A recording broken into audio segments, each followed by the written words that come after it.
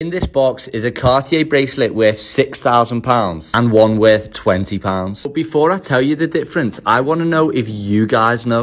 So let's call this one band one and this one band two. And in the comment section, tell me which one you think is the real one. So this is the full view of band one, the stamping of band one, and a close up of the screws in band one. This is the full band two, the stampings and engravings on band two, and a close-up of the screws of band 2.